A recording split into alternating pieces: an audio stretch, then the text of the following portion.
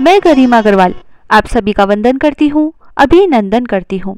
मकर संक्रांति के नेकचार की पिछली वीडियो में हमने आपको बताया था कि अमर सुहाग की कहानी कैसे सुनते हैं, उसका नियम कैसे लिया जाता है और उसका उद्यापन कैसे किया जाता है। आज के इस वीडियो में हम सुनते हैं मकर संक्रांति पर सुनी जाने वाली अमर सुहाग की कहानी। एक बार की बात है, एक सेठ और सेठानी थे। उनकी एक लड़की थी, वह बहुत ही चंचल स्वभाव की थी।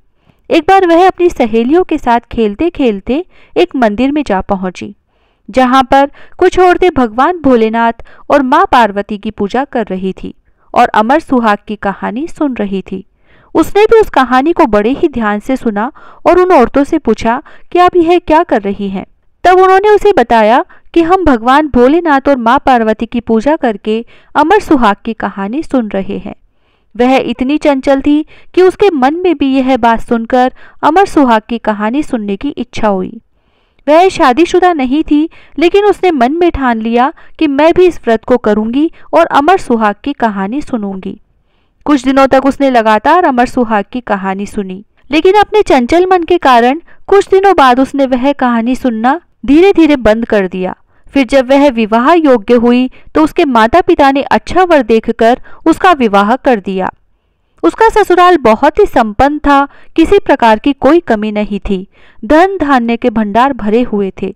लेकिन शादी के अगले दिन ही उसके पति की मृत्यु हो गई। जब गाँव वाले उसके पति के शव को ले जाने लगे तो वह रोने लगी और उसने उनका रास्ता रोक लिया। कहा कि मैं अपने पति के शव को नहीं ले जाने दूँगी। तब सभी गाँव वाले और परिवार वाले उसे बहुत समझाते रहे कि यह भगवान की माया है, इस होनी को कोई नहीं रोक सकता। जो चला गया, वह वापस नहीं आ सकता। लेकिन वह जिद पकड़कर बैठ गई और अपने पति के शव को नहीं ले जाने दिया और अपनी सासू माँ से गिड़गिड़ाते हुए बोली कि मुझे केवल अपने पति के शव को दे दीजिए और गाँव के बाहर एक कुटिया बनवा दीजिए, मैं वहाँ पर अपने पति के साथ रहूँगी। ससुराल वाले उसे पागल समझने लगे, लेकिन उसकी जिद के आगे किसी की नहीं चली और उन्होंने गाँव के बाहर उसके लिए एक कुटिया बनवा दी। वह उस कुटिया में अपने पति के शव के साथ रहने लगी। रोज़ाना सुबह उठकर शव की साफ़ सफ़ाई कर उसी के पास भूखी प्यासी बैठी रहती। घर वाले व गाँव वाले कुछ बचा कुचा खाना उसके लिए भिजवा देते थे, जिससे उसका काम चल रहा था। वह रोज़ाना बैठी बैठी अपने भाग्य को कोसती रहती और पार्वती माता से विनती करती कि मुझे यह किस बात का दंड मिला है। उसके इस करुण भाव से एक दिन दया करके माता पार्वती प्रकट होकर बोली कि पुत्री, तूने अपने चंचल मन स्वभाव के कारण अमर सुहाग की कहानी सुनने का संकल्प लिया था और उसे तूने पूरे किए बिना ही बीच में छोड़ दिया। यह उसी का परिणाम है कि तेरा पति भी तुझे बीच में छोड़कर चला गया। तब उसने पार्वती माता से अपनी भूल के लिए क्षमा मांगी और इसका उपाय पूछा। तब पार्वती माता ने उसे कहा कि तू फिर से अमर सुहाग का व्रत करने का संकल्प ले और नियमित रूप से कहानी सुनकर व्रत रख। एक समय भोजन करना, संध्या समय में दीपक जलाना, इससे तेरा पति पुनः जीवित हो जाएगा। ऐसा कहकर माता पार्वती अंतर्ध्यान हो गई। तब उसने सवा महीने की कहानी और व्रत का संकल्प लिया वह रोज़ाना सुबह स्नान आदि से निवृत्त होकर स्वच्छ वस्त्र धारण करके माँ पार्वती और भोलेनाथ की पूजा करके अमर सुहाग की कहानी सुनती और व्रत रखकर शाम को दिया जलाकर एक समय भोजन करती। ऐसा लगातार करने पर सवा महीने बाद उसका पति, माँ पार्वती और भगवान भोलेनाथ की कृपा से फिर से जीवित हो गया। यह देख वह बहुत ही खुश हुई उस दिन जब उसके ननद उसे खाना देने आई, तब वह बाहर से सुनती है कि भाभी किसी से बात कर रही है। तब वह अंदर जाकर देखती है कि उसका भाई जीवित हो गया है और भाभी उससे बातें कर रही है। तब वह खुश होकर यह समाचार अपनी माँ को जाकर सुनाती है तो उसके सास ससुर बहुत ही खुश होकर दौड़े दौड़े आते हैं और देखते हैं कि सच में उनका पुत्र जीवित हो गया है। जब वह बहू से पूछते हैं कि ऐसा सब कैसे संभव हुआ, तब उसने सारी बात अपने सास ससुर को बताई। सभी गाँव वाले और घर वाले बहुत ही खुश हुए और उसे घर चलने के लिए बोले। लेकिन उसने कहा कि मैं इस कहानी का उद्यापन किए बिना घर नहीं जाऊँगी। तब उसके सास ससुर तुरंत ही उसकी इस बात के लिए तैयार हो गए और उसके उद्यापन की पूरी तैयारी कर दी।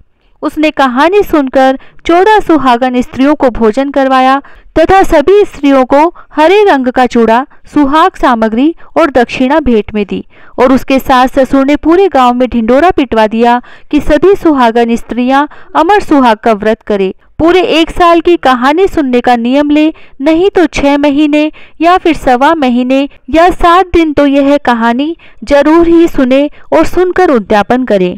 और माँ पार्वती तथा भगवान भोलेनाथ से अपने सुहाग की रक्षा के लिए प्रार्थना करें। हे माँ पार्वती, जैसे उस लड़की को सुहाग दिया, वैसे सबको देना। जैसे उसको दुख दिखाए, वैसे किसी को न दिखाना। कहता न सुनता न हुकारा भरता ने सारे परिवार की रक्षा करना। बिंदाइक जी की कहानी। बिंदाइक जी के अमर सुहाग की कहानी। एक भाई और एक बहन थे। बहन का नियम था कि रोज अपने भाई का मुँह देखकर ही खाना खाती थी। रोज उठती, अपना सारा काम करती और भाई का मुँह देखने जाती। रास्ते में खेजड़ी के नीचे गणेश जी की मूर्ति, तुलसी माता हरी भरी पथवारी माता हिंडोले ले रही थी। ऊपर से सूरज भगवान तप रहे थे। वो रोज भाई का मुँह देखने जाती और कहती, भगवान मुझे अमर सुहाग देना, अमर पीहर वासा देना। ऐसा कहती हुई जाती। परंतु रास्ते में बहुत ही झाड़ झंखाड़ थे, जिससे बहन के पैर में कंकर पत्थर और कांटे चुपते। एक दिन घर जाकर उसने भाई का मुँह देखा और बैठी। तब भाभी ने पूछा, बाई साहब, पैर में क्या हुआ? तो ननद बोली, रास्ते में कांटे कंकड़ चुप गए। ऐसा कहकर मैं वापस अपने घर आ गई। भाभी ने अपने पति से कहा कि, रास्ता साफ़ करवाओ बाईसा के पैरों में कंकड़ चुपते हैं। भाई ने पूरा रास्ता साफ़ करवा दिया। गणेश जी पथवारी का स्थान भी उठाकर साफ़ कर दिया। इससे भगवान नाराज़ हो गए और उसने उसे वहीं सोता रख दिया। पत्नी रोने लगी और लोग लोकाचार करके ले जाने लगे तो पत्नी बोली, रुक जाओ, अभी मेरी ननद आएगी, उसे अपने भाई का मुँह देख लेने दो, नहीं तो वह खाना नहीं खाएगी। तो लोग बोले, आज तो खा लेगी, कल किसका मुँह देखेगी? परंतु कुछ बुज़ुर्ग आदमी कहने लगे, थोड़ी देर रुक जाओ, क्या बिगड़ जाएगा? इधर बहन रोज की तरह भाई का मुँह देखने निकली तो उसने सारा रास्ता साफ़ किया हुआ देखा। तो बहन ने वापस खेजड़ी की डाली लगाई।